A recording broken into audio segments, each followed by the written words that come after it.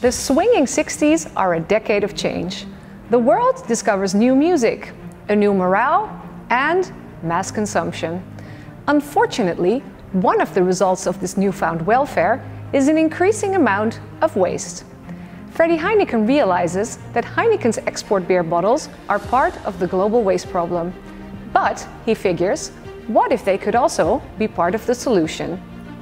And so, Freddy Heineken teams up with innovator and architect John Habraken. Together, they come up with a revolutionary idea a bottle that, once empty, can be used as a brick.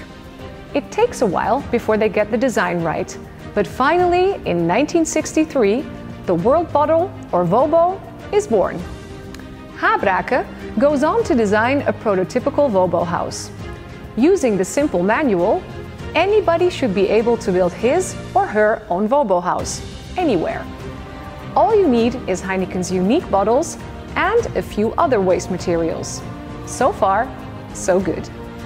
Unfortunately, the project comes to a screeching halt when research concludes that producing the WoBo is too difficult and too costly. And so, ironically enough, the WoBo falls victim to the very systems it was trying to fix, those of mass production and consumerism. As the great Samuel Beckett once said, no matter, try again, fail again, fail better.